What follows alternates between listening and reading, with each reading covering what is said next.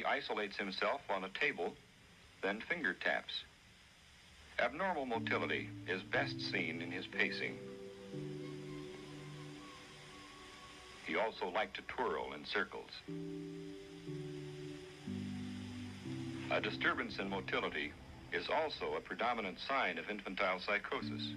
You can clearly hear the narrator there misclassify this boy who's exhibiting the signs of autism as having infantile psychosis, but this was the case for over 80 years. See, the term autism was just introduced into the medical field around 100 years ago by Swiss psychiatrist Eugen Bleuler, and at that point he was using it to describe a symptom of schizophrenia where patients would be withdrawn into themselves. That association stuck, and it was only in the 1980s that autism was classified away away from psychosis mm. as its own condition. This shows us just how little we really understood about autism back in those days, so when people say there was no autism in my time, well there was, we just didn't identify it.